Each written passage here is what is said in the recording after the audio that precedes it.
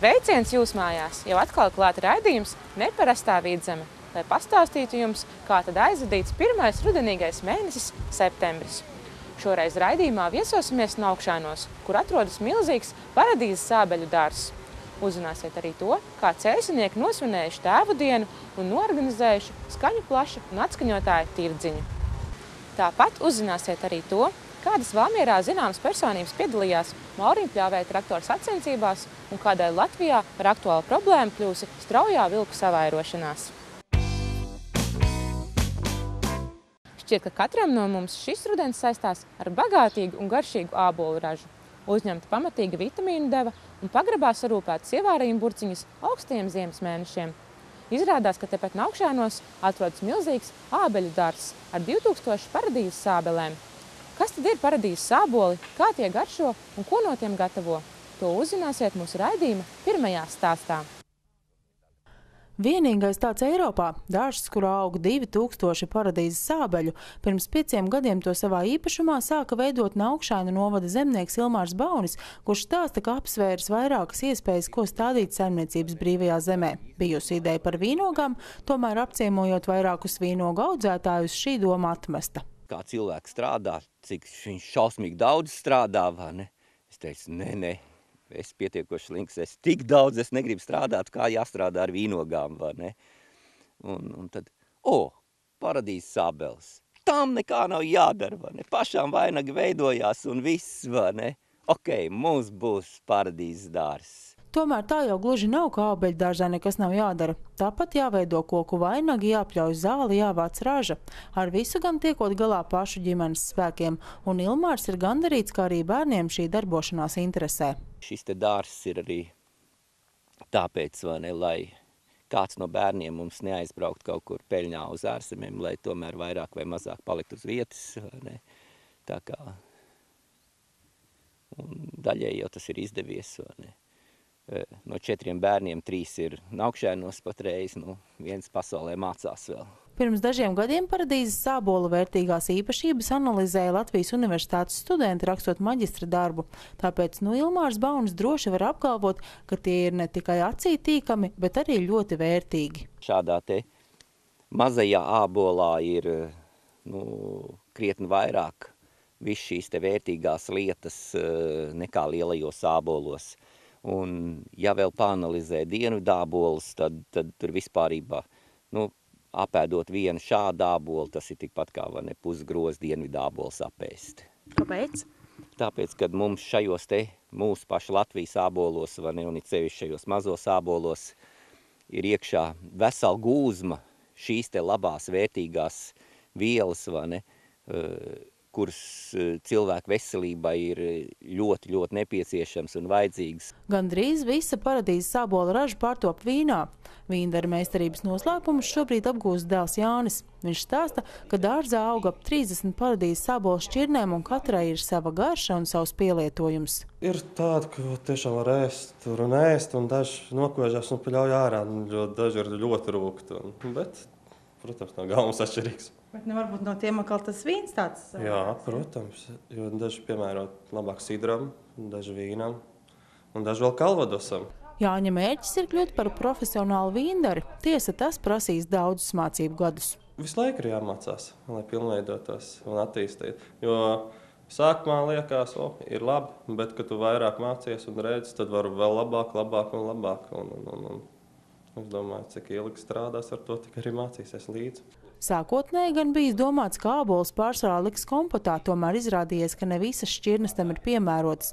Lai kompots būtu ne tikai gards, bet arī vizuāli pievilcīgs, tam var izmantot tikai dažas paradīzes ābola šķirnes. Bez tam to ražot esot diezgan sarežģīti. Ar vīnu varbūt ir eh, tehnoloģiski vienkāršāk, kaut gan tur gudrības ir vairākas vajadzīgas, vai ne? Šim kompotam, vai ne, nu, mazais mairažotājs tā kā var būt, vai ne? Bet liela ražošana, tas jau ir jau ļoti, ļoti dārgs iekārts un dārgs process, un, un tad arī šis dārsts ir vajadzīgs krietni, krietni lielāks. Lai iestrādāni ir bioloģiska saimniecība, otra tās darbības nozare ir graudkopība. Šobrīd norit sarunas ar vienu no lielākajiem bērnu pārtiks ražotājiem Amerikā par auzu eksportu. Ilmārs atzīst, ka no vienas puses var būt gandarīts par savu darbu novērtējumu, tomēr skumdina, ka šādam augstvērtīgam un veselīgam produktam nav pieprasījuma pašu valstī. Mums ir vajadzīgs ir valsts pasūtījums. Valsts pasūta sāk ar, piemēram, ar kaut vai ar bērndārsiem, vai ne, bērndārsos, vai ne, jau pašiem maziem bērniņiem, vai ne, lai būtu veselīgā pārtika, vai ne, kurā uh, nav izmantot uh, šīs te ķimikālijas, vai ne, nu, ļoti patīkam, ārstu biedrība jau cīnās, vai ne, bet, nu, tas pagaidām vēl ļoti maz.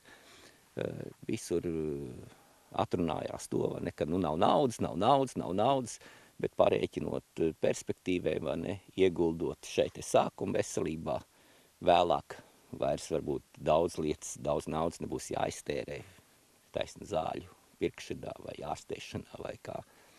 Bet ja mēs visus tos gūzmu, e, kas tur sanāk, vai ne, ka to visi ēd iekšā, vai ne, tur jau ir rezultāts. Tomēr paradīzes sābeļdārza saimniekam tikmēr galvā vēl jaunas idejas, kā mazos auglīšus likt lietā. Par pašu līdzekļiem top jauna, plašāka vīna darītava, tāpat iespējams reiz būs iespēja baudīt paradīzes sābolu biezeni vai pat saldējumu. Šis rudens bagāts ne tikai ar lielo ābolu ražu, bet arī ar dažādiem svētkiem. Viena no šādiem svētkiem bija tēva diena, kuru Latvijā atzīmē jau piekto gadu septembra otrajā svētdienā. Nākamajā stāstā uzzināsiet, kā šo dienu nosvinēja cēsinieki.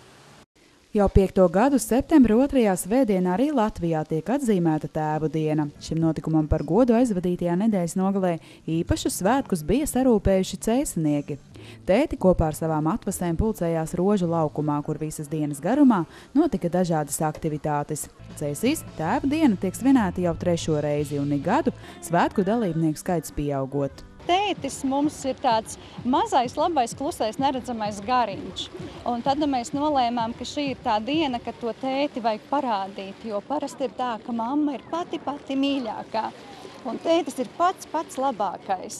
Un neatkarīgi no tā, ko viņš dara, bērniņš lepojās ar savu tēti. Tēva dienas pasākuma apmeklētājiem bija iespēja piedalīties dažādās radošajās darbnīcās vai pierādīt savus spēkus kādā no konkursiem. Savukārt bērniem, kuru tēti šajā dienā nevarēja būt kopā ar ģimeni, bija iespēja izgatavot īpašu dāvanu savam tētim. Pasākuma režisora uzsver, svētki ir veidoti ar mērķi saliedēt un stiprināt ģimenes. Pirmajā gadā, kad organizējām tēvu dienu, nāca tā kā pierādīt, nu, kāpēc tiem tētiem tētiem vajag tos svētkus. Kāpēc tur to dienu vajag um, atnākt un būt kopā? Tu pagājušā gadā jau bija lielāka interese, un šogad jau, jau tas ir tāds pasākums, ko es zinu, ka daudzi gaidīja kad būs tēvu diena, kad es būšu iešu kopā ar tēti, ielikšu savu mazo roku tētim plaukstā un došos ar mammu kopā, un, un, un, um, un tētis būs mums līdzās. Tā viennozīmīgi tā ir uh, ģimeņu stiprināšana. Apmeklētājs priecēja arī cēsa muzikālie tēti, jeb grupa Rolman Band. Grupas līderim Reinim Reķim ik brīdi līdzi jūt arī mazā meitiņa Lorete, ar kuru kopā reizēm arī uzdziedot. Kas šodien ir pa īpašo dienu?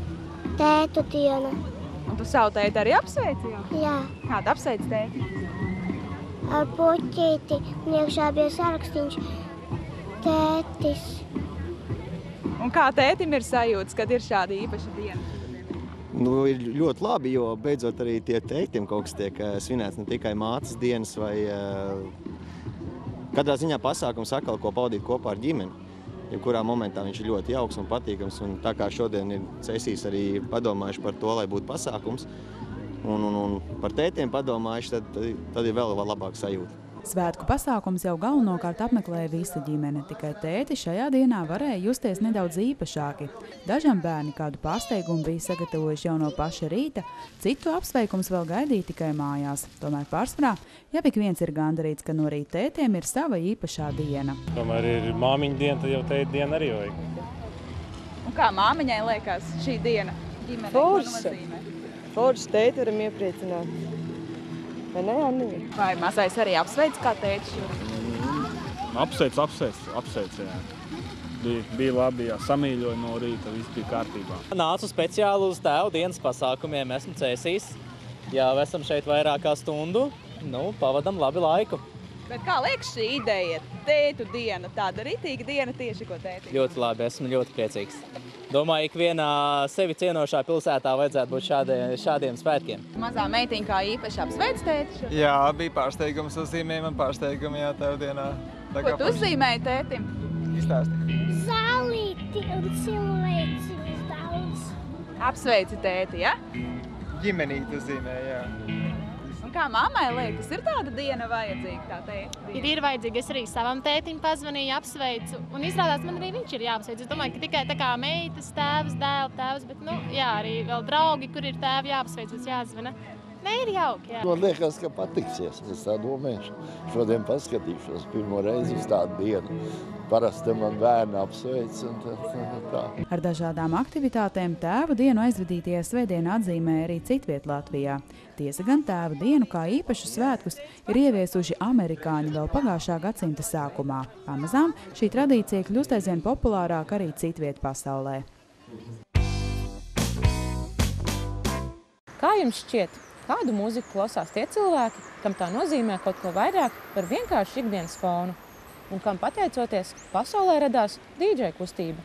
Atbildes šiem jautājumiem meklējiet mūsu nākamajā sarūpētajā stāstā.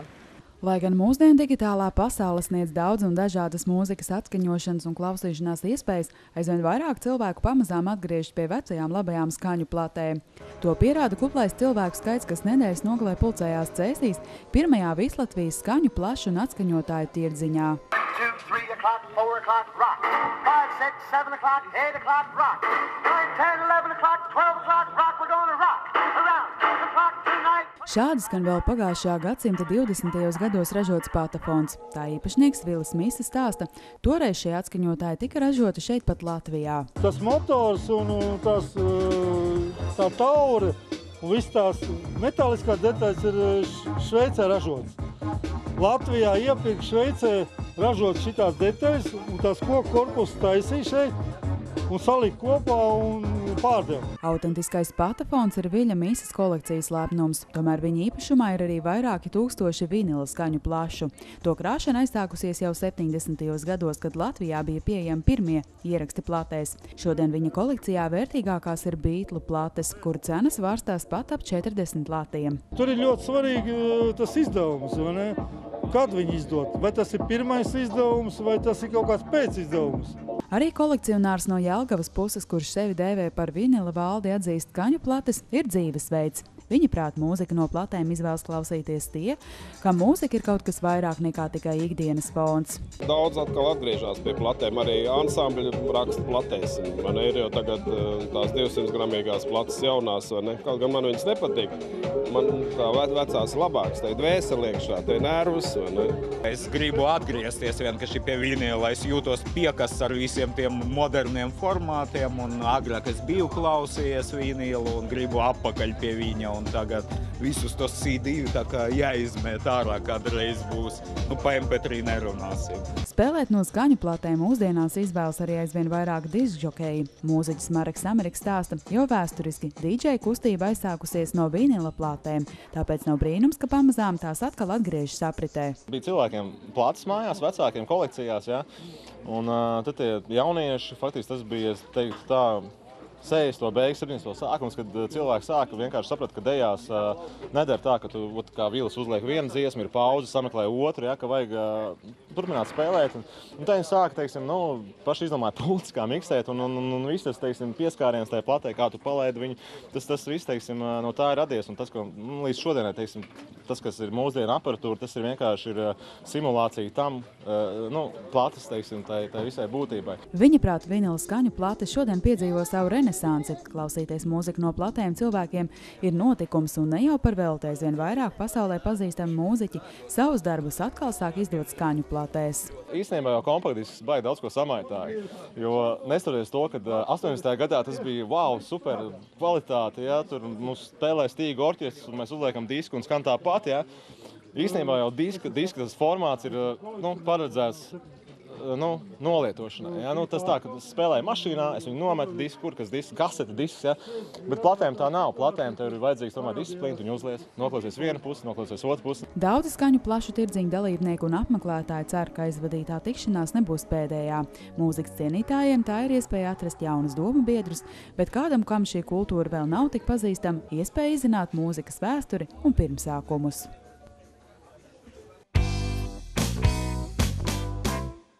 Lai mērotos ar spēkiem un noteiktu labāko, nevienmēr vajadzīgas skriešanas, tālēkšanas vai basketbola sacensības.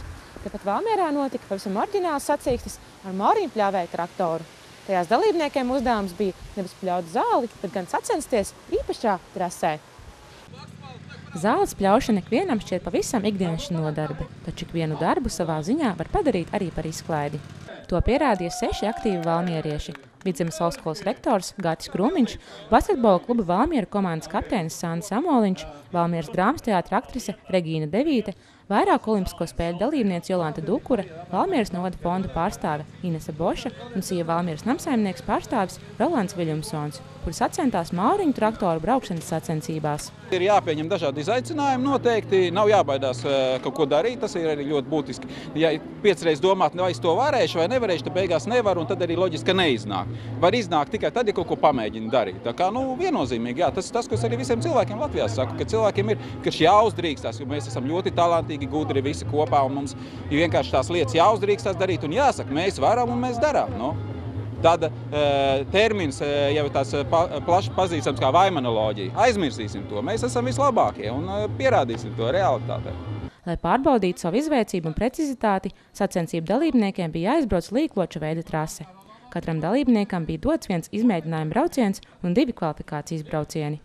Vidzemes augstskolas rektors Gatis Krūmiņš un Valmieras namsaimnieks pārstāvis Rolands Viļamsons uzrādīja labākos rezultātus un sacentās finālā. Sīvā konkurencē fināla braucienā godpilno pirmo vietu ieguva īstenis Valmieras namsaimnieka profesionāls Rolands Viļumsons. Kādas sajūtas uh, būt uzvarētājiem šodien? No, forši, forši. Pirmo reizi tādās piedalos. Vai ikdienā tas darbs, ko darat, saistās ar šodienas uzvaru varbūt? Tā zāles pļaušana, jā, bet ar šitādu agregātu pirmo reizi. Un kā patīk traktoriņš, kā iet uz priekšu? Nu, labi. Varētu tādu iegādāties, mums būtu savādāk. Kā ir ar vadību? Nav, nav, nebija sarežģīti sākumā? Nu, armijā ir braukts ar tanku, tā kā tik traki nav. Tas pats jau vien ir. Sacensībās trešo vietu ieguva Valmieras novada fonda pārstāve Inese Boša, no otrās vietas atpaliekot vien pāris sekundes simdaļas. Ikvienam sacensību dalībniekam tā bija interesanta pieredze, jo iepriekš ar šāda veida mauriņu pļaujamo traktoru neviens vēl nebija braucis. Jebkura pieredze ir ļoti laba, un tas, ko es arī uzsveru studentiem un cilvēkiem, vajag pamēģināt dažādas lietas eh, dzīvē, un redziet, rezultāti nemaz nav tik slikti. Teiksim, šāda veida agregātus pirmo reizi mūžā brauc, kur tādas kāpurķiešu traktora iemaņas ir vajadzīgas. Un redziet, nu, gandrīz visu, ko to profesionāli, viņš būtu paveicies, būtu arī vinnējis. Tā kā, nu, tā kā ļoti pozitīvi, jā, nu, vajag izmantot visu, ko dzīves sniedz. Īpašs prieks par paveikto braucienu ar Mauriņu traktoru, ko sacensību sākumā visi nodēvēja par maksi, bija Valmieras teātra aktrisei Regīnai Devītei. Katrā ziņā man ir liels prieks, ka es saņēmos un piedalījos. Jo es neesmu tehnisks cilvēks, un tad es vēl iedomājos, cik viņš maksā un apkārt cilvēki. Un tā man atkal ir jauna pieredze. Un es tagad sapņošu par maksi, jo manējiem zāles pļāvējiem ir tikai 4 zirgspēki, tam stumjamajam maksim ir 22 un viņš tiešām ir viegli vadāms. Jāpiebilst, ka sacensības norisinājās Tirzniecības un servisa centru tīkla Stokera rīkotās brīvdabas darbnīcas ietveros. Visas dienas garumā apmeklētāju rīcībā bija desmit pilnībā aprīkoti demonstrāciju autobusi ar elektriskajiem rokas instrumentiem, motorzāģiem, uzkopšanas tehniku un citiem darbarīkiem. Visiem labi zināma skarbā patiesība par to, ka rudeni nomaina ziema. Sinoptiķi sola, ka šogad tā būs barga un ar dziļu sniegu. Vai zinājāt, ka tieši augstās ziemas rada labvēlīgus apstākļus, lai savairotos vilki? Par to plašāk uzzināsiet mūsu raidījuma noslēdzošajā stāstā. Sedas purva apjomīgās platības ir visai pateicīga vieta vilku dzīvei, kur gan tiem iespēja atrast mediumu, gan arī netik viegli klāt tiek mednieki vilku pēdas un arī gaudošana, saplosītie meža dzīvnieki tad arī bija liecība, ka purvā dzīvo jau pat palielas bars. Aizvadītajā sestdienā tad arī tika lemts par medībām. Pirms tam jau ir, var teikt, nedēļu, nedēļu dien, dienā, pa naktīm, pa, diena, pa vakariem viss braukāšana meklēšana, kur viņi ir. Vispirms vilku atrašanās vieta tika noteikta ar piegaudošanu. Izrādās, ka mūsu pašu kolektīva vadītājs Ziedonis Liepiņš māk, to māk to gaudošanu. Jā. Pamēģināja, izdevās. Tad turpinājām, dom, no, nolēmām, ka jāturpina. Vilku medībām atsaucās neierast daudz mednieku, 109, un medības izrādījās veiksmīgas. Nomedījām septiņus kucēnus. Trīs, di, div, divus puisīšus un, un, un piecas meitenītes. Bet pirms divām nedēļām veiksmīgi beidzās arī apjomīgas vilku medības kārķu pagastā, kur nomedīti seši vilki. Šeit medību iemesls bija tas, ka iedzīvotāji pauda bailes par vilku sirojumiem, kā arī vairākās mājās bija pazuduši suņi. Mednieki mēs uzskatām, ka vilku skaits ir pa lielu Latvijai, tāpēc, ka uh, ir bijuši gadījumi, kad tiek saplosīti mājas suņi, uh, ir bijuši gadījumi, kad uzbruk mailopiem, uh, un pēdējā ziemā paslēpojot, redzot to pēdu skaitu, kas ir, kas ir tas nozīmē, ja bars jau ir pāri pat pa desmit vilki, tad tas, tas kļūst bīstami. Viņi ir ļoti daudz. To jau pierādīja jau kaut vai pagājušais gads, kad, kad, kad tepat Jērcēnos medījām, ka pār lauku aizgāja ļoti liels skaits vilku izmuka no, no, no, no nešauti pilnīgi. Un, kur te viņi, viņi jau mazāk nepalika, viņi tikai katrs savairojās vēl. Mednieks stāsta, ka viens no iemesliem, kāpēc vilki ir savairojušies, ir pēdējās bargās ziemas, kas ļauj tiem gūt vieglu barību, jo dziļā sniega dēļ novājināts ir stirns meža cūks. Un arī medniekiem netik viegli ir piekļūt vilkiem. Arī, arī visas Eiropas direktīvas, visas tās iespaidoja, kad, kad ir, ir likumi visi un, un aizliegumi. Kādā ziņā šīs Eiropas direktīvas? Nu, nu, ne, nu, jā. Nu, tie 200 vilki tomēr uz Latviju ir, ir pamaz, lai tagad, kā saka, Krievu laikos bija tā, kad par viņiem vēl piemaksāja, un no viņiem netika vaļā. Viņi bija pietiekošā vairumā. Tagad viņus vēl grib aizliegt. Ir ļoti svarīgi mums pašiem parādīt e, faktisko stāvokli, kāds ir. Fiksēt visus notikumus, e, kad, kad vilki ir uzbrukuši mailopiem, kad ir, kad ir saplēsti suņi, e, ka ir atrasti mežā e, saplēsti meža dzīvnieki. Tā, tādējādi pierādot, ka vilku skaits ir, ir pa lielu. Ja mēs to nedarīsim, tad, e, protams, ka Eiropa, kurā tur viens vilks pa visu Vāciju kaut kur skraida, ja, tad, tad viņi mūs nesapratīs. Bet ir vēl kāds fakts, kuru saistībā ar vilkiem aktualizē mednieki, un tie ir suņu vilki, jeb vilku un suņu jaukteņi. Analīzes uzrāda, ka, ka vilks nav tīrs, ka vilku tēcis ir grēkojis ar kādu suņu kucīti, Un šis monitorings, kas, kas ilgst, manuprāt, jau no kaut kāda 90. gada beigām, kurus Ilava zinātnieki šos paraugus no medniekiem paņem un, un, un izpēta, to, to ir secinājuši. Un, tam kopumā ir negatīvas sekas, manuprāt, jo tā ir, pirmkārt, tā ir kleņojošo suņu problēma, ka, ka, ka vilki tiek kopā ar, ar ar, ar šīm kucēm. Otkārt, šie jaundzimušie suņu vilki, viņš, viņš nav vairs no tīra suga, un tas nozīmē, ka var būt neprognozējama šīs sugas uzvedība. Respektīvi, viņi var kļūt bīstami, vairāk bīstami cilvēkiem, mājdzīvniekiem. Viņi nebaidās. No viņi, jā, viņi, vai, viņiem vairs nav tādas bailes. Arī pēc aizdītajām veiksmīgajām medībām sedas purvā mednieks secina, ka vilki vēl ir palikuši, tāpēc, ko līdz uz saus un būs sniegs, būs arī vilku medības.